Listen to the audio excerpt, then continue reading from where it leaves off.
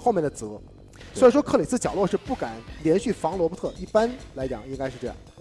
好，我们现在看到的画面是三第三名的这个决战，谁输了谁就是第三名，谁赢了谁去跟历程争夺冠亚军。左边大口，右边是蓝翔。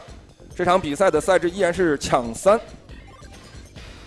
好，大口是选择了草剃精，但是呢，八神首发草剃手底，依然是一个八神对神乐的局。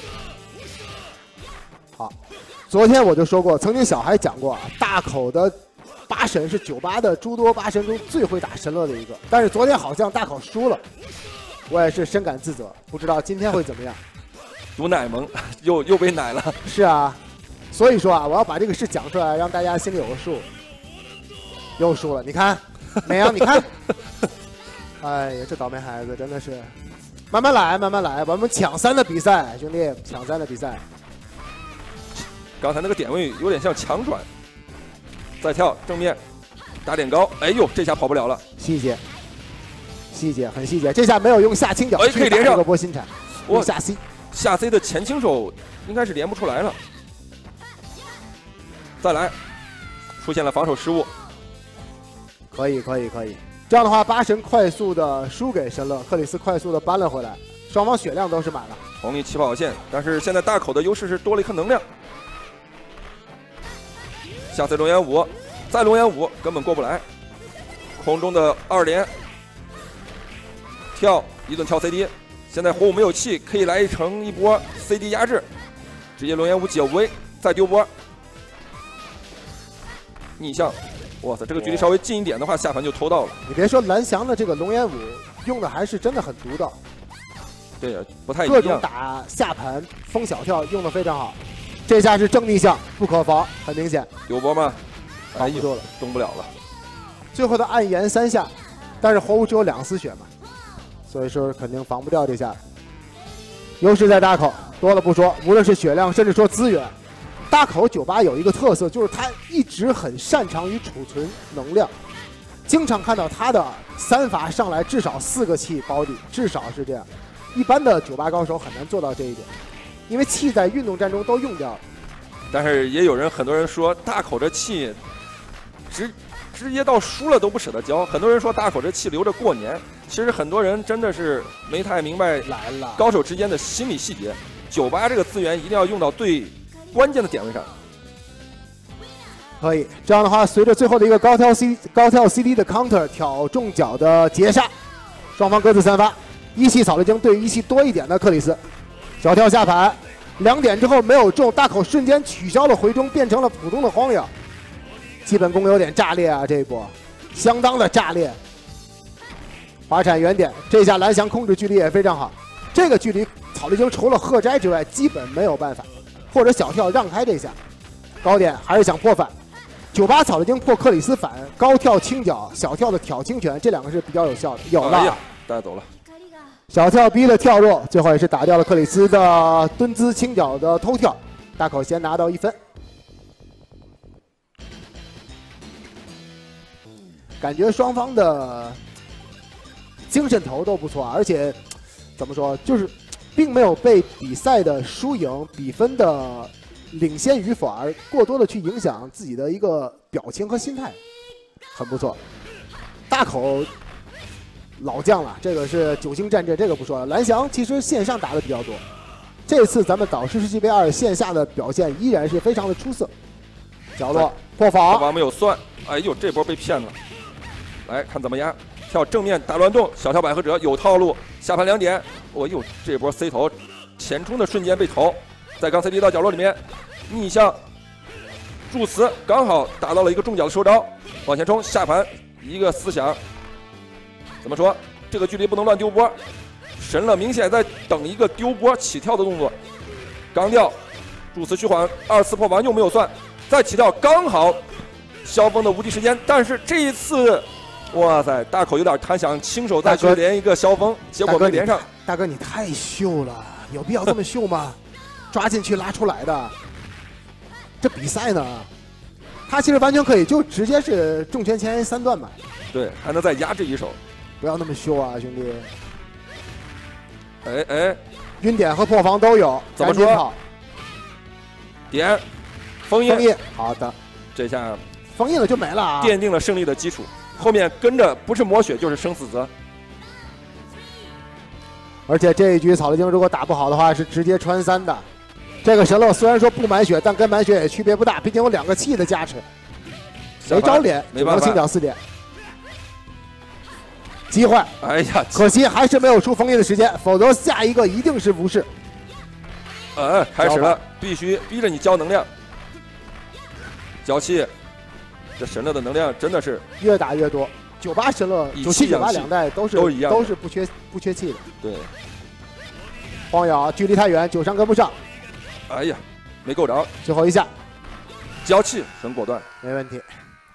大口这一局最漂亮的，我觉得就是那个直跳嘛，判断神乐的滑铲，那个直跳低的低点，下盘两点已经是当时就提前蓝精灵的状态下能做到的极限了。可惜还是没有，前三针就知道了。可惜还是没有，哎，没有出没有出封印的时间。嗯，好，大家看到导播也是切了一个咱们现场比赛的远景啊，这个是从咱们影院的后面的比较高的位置来给到大家一个俯，相当于是俯瞰的视角，显得选手们在比赛中的这个状态啊是非常的专注，整个画面氛围也很好。就像刚刚导师讲的，非常像我们零七年打的那个比赛，非常像那个感觉。现场又是一波角落布阵，八神没气，不过一个切仿硬生生切过来了，不过又是一个注词二段。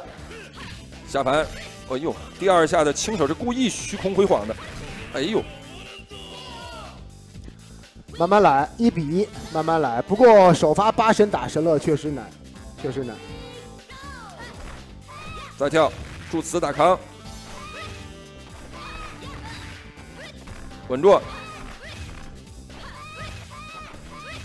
连续的跳 CD 滑铲脚，这下影子一旦出了，打过去之后还有再次跳正逆向的选择，连续的助词，神乐的气真的是用不完，越打越多，哎呀，滑铲脚距离太近，封印直接拿下，根本不给机会，这就是三四名、第三名的争夺赛，没办法。这样的话，这一局基本上是复制了上一局的局势。又是一个重脚的独乐图扣空，直接被神乐背面的下棋前 A 灵机之处。感觉大口状态下去了，打的不那么兴奋了，也找不到机会了，反而是蓝翔这边风味越来越好，这个神乐越来越难打。